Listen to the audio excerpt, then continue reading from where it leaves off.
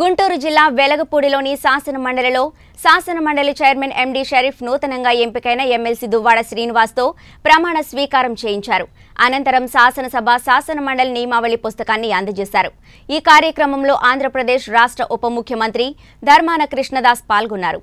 ప్రమాణ స్వీకారం అనంతరం ఉప ముఖ్యమంత్రి ధర్మాన కృష్ణదాస్ మీడియాతో మాట్లాడుతూ శ్రీకాకుళం జిల్లాకు వైఎస్ఆర్సీపీ ప్రభుత్వం ఎంతో ప్రాధాన్యత ఇస్తుందని శాసనసభ అధిపతిగా తమ్మినేని సీతారాం ఉప ముఖ్యమంత్రిగా తనను పశుసంవర్ధక శాఖ మంత్రిగా సీదిరి అప్పలరాజు అలా ఒక్కొక్కరికి ప్రాధాన్యతనిస్తూ వస్తున్నారని జిల్లా అభివృద్ధికి సమర్థవంతమైన నాయకులను ఎంపిక చేసి పదవులు ఇస్తున్నారని దువ్వాడ శ్రీనివాస్ శాసన మండలిలో సభ్యత్వం కల్పించి మరింత న్యాయం చేశారని అన్నారు. ఈ సందర్భంగా ఎమ్మెల్సీ దువ్వాడ శ్రీనివాస్ మాట్లాడుతూ జగనన్న తనపై ఉంచిన నమ్మకాన్ని తప్పకుండా ఆహార్నిశలు శ్రమించి అర్హులైన ప్రతి వ్యక్తికి ప్రభుత్వ పథకాలు అందించేటట్లు చేస్తానని అన్నారు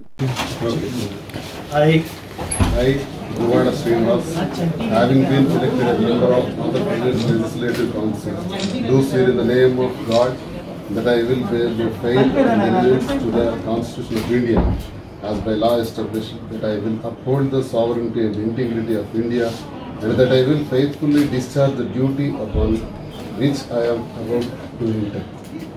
I, I, Duvada Srinivas, member of Andhra Pradesh Legislative Council, swear in the name of God that I shall abide by and follow the rules, observe the etiquette and respect the conventions of the House.